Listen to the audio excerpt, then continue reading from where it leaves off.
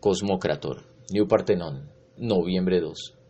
Tengo miedo de haberme equivocado de planeta. Aquí estamos demasiado estrechos. No hay bastante sitio para mí. O tal vez me he equivocado de siglo. Mis verdaderos contemporáneos murieron hace miles de años o tienen todavía que nacer. El hecho es que me siento extranjero en todas partes y mortificado. La tierra es un puñado de estiércol resecado y de orina verde a la que se da la vuelta hoy en pocas horas, mañana en pocos minutos. Y no hay ocupaciones a propósito y dignas para uno que sienta dentro de sí los apetitos y las fantasías de un titán.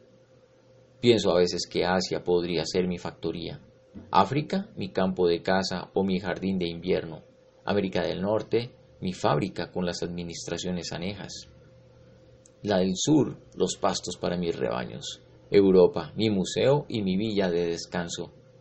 Pero sería siempre una manera mezquina de vivir, tener el Atlántico como piscina, el Pacífico como pesquería, el Etna como calorífero, tomar duchas bajo el Niágara, poseer Australia como parque zoológico y el Sahara como una terraza para los baños de sol, son cosas que parecerían a las estúpidas criaturas que se alojan en esta esfera de quinta magnitud portentosas o monstruosas. Para mí, en cambio, desearía algo más, ser el cosmocrátor superior, el director de la vida universal, el ingeniero jefe del teatro del mundo, el gran prestidigitador de la tierra y de los mares. Esto sería mi verdadera vocación.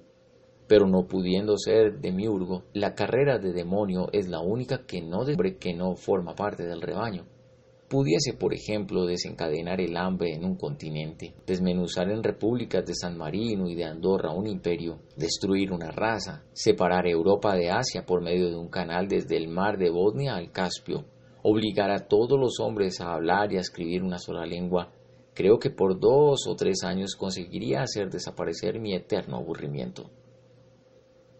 Me gustaría también tener en mi casa bajo mi mando a un presidente de república como mecanógrafo, a un rey cualquiera para chofer, a una reina desposeída como cocinera, al Kaiser como jardinero, al Mikado como portero, y sobre todo tener a mi servicio como ídolo doméstico y parlante a un Dalai Lama, esto es, un Dios vivo.